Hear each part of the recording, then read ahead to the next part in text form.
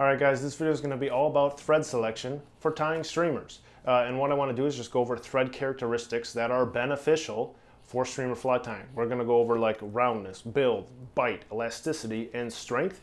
Going to boil down all the thread selections, which are crazy confusing, into really only two threads that I use uh, in my daily tying. I'm Gunnar Brammer with Brammer's Custom Flies.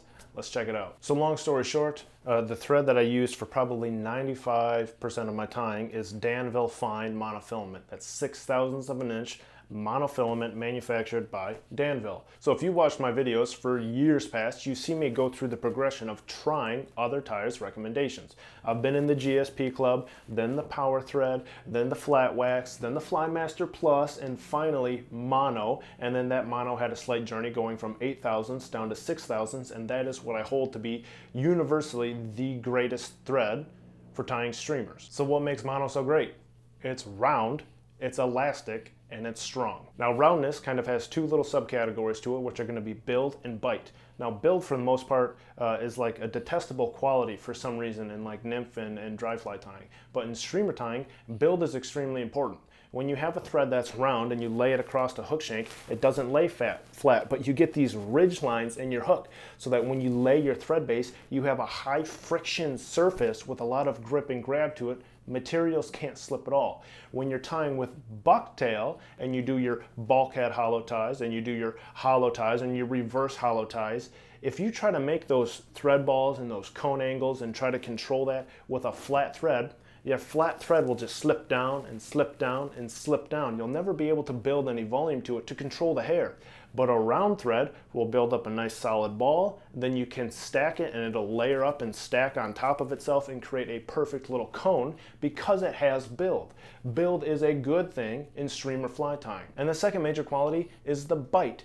In the thread control video where I'm talking about spinning up your thread, people take flat threads for the most part and they spin them up to make them round. Flat threads are weak. You can break the individual strands and everything falls apart. But when you cord it up, you have to ask all of it to break at the same time. You get the maximum strength on the material and a round thread consolidates all the pressure instead of having the pressure distributed across this flat surface and trying to pull down really hard that's garbage but if I can make a really tight round it'll dig in and bite into the material and compress it, which is crazy important when working with hair, bucktail, belly hair, deer body hair, and either hackle stems. It's the bite that digs it into the hook and it's why I can tie bucktail in with five turns of thread because I'm using it at the right density and I compress it because I have a round thread that has a ton of bite. So on top of roundness, it's also elastic. In our thread control video on drawing a perfect circle with your bobbin nose and how important that is so you don't introduce slack, understand that the elasticity of the thread makes it more forgiving to tie with because your imperfections in your circle, if you're tying within the elasticity of that thread, you're pulling it taut, then any imperfections get eaten up by the elasticity instead of introducing slack. On top of that, it gives it bite onto the hook itself. So when I do a thread base with mono, I only need to put down like five turns and it can't slip. Whereas with GSP, you put down five turns and it'll pull right out right? So the elasticity allows it to bite into the steel, but it also makes it forgiving to tie with. And then last but not least is strength. Strength is obviously important for streamer tying because we're using large quantities of materials, coarse materials, stiff materials, and you're using these flies to target the biggest, baddest fish out there so that you need durability and that's gonna come through high pressure tension wraps so materials can't pull out, right? And so mono is strong. It's not as strong as say GSP, but relative to its size, six thousandths of an inch is about the best streamer thread out there. If you need to be competitive with GSP and you need to tie in coarser materials, I use eight thousandths of an inch mono. So monofilament in six thousandths and eight thousandths covers nearly 100% of my tying spectrum, start to finish, with the small exception of dubbing loops. Now a bonus tip with the mono, because it's round, you never need to introduce coil to the thread to get it to lay against your fingers. If it's in a neutral state, it'll come up under slack, nearly perfectly vertical, and you're never going to unwind it flat or rewind it round, because it's always round. So you never need to twist it to get more out of it. It's always at functional strength. So then in my dubbing loops, you're gonna see me use only two threads. And honestly, you could just use the one, but for whatever reason, I just like Danville. so then I use 210 Danville Flymaster Plus and I use about 150 Veevus GSP. Those two I don't use for tying anymore. I just use them in the loop.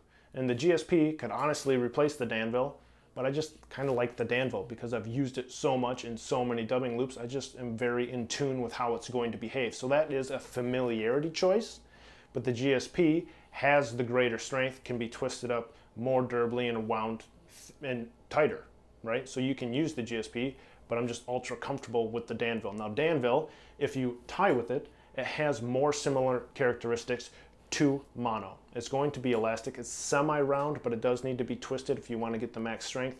Uh, it is elastic, it does have good bite, and it is waxed, so it does have better grip on materials than GSP. Now GSP, in my opinion, is completely detestable. I absolutely hate tying with it. It's way too slippery, it's flat, it's stranded, it always needs to be spun. Uh, it has no bite on a hook whatsoever. I, I don't understand why people like it aside from the fact that it's the strongest thread out there, which is why I use it in a very long, complex loop with a lot of coarse material.